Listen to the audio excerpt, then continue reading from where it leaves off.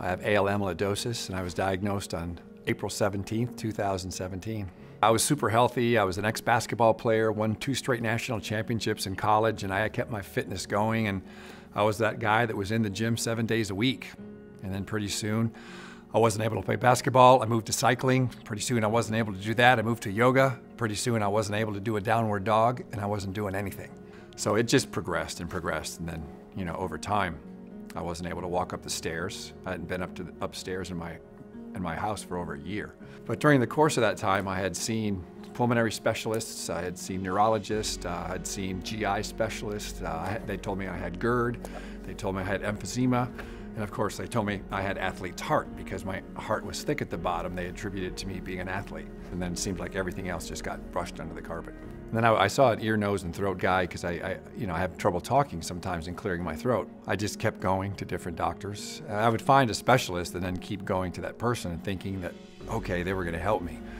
And then they didn't, and then I would maybe go to another specialist. I probably saw 10 or 15 doctors. My symptoms were just, you know, overall weakness, and I wasn't able to breathe, I wasn't able to walk upstairs, I was really weak. I just wasn't the same person I was. I was just a, a shadow of myself. I'm optimistic. I can walk, I can breathe, I, I work out. And without the treatment, I would, I would be dead right now.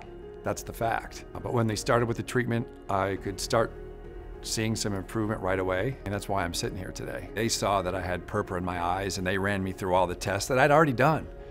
But in a matter of two days, they said, you know, we know what you have, but we need to prove it clinically. So they ran a few more tests, and they told me that you have amyloidosis, AL amyloidosis, specifically cardiac amyloidosis. And that was the start of my journey. Clinically, my numbers have improved, so that is evidence. I can walk, I can breathe, I, I work out. I mean, there's the only thing I have is, is kind of weakness right now, but I'll take that any day. I feel great, and I would probably always say that. I mean, I do feel great. I, I, I feel, you know, people ask me, how you doing, how you doing all the time? And I say, I feel great. And they say, really? Tell me how you really feel. I say, I do feel great. Emotionally, I feel great. Psychologically, I feel great. Spiritually, I feel great.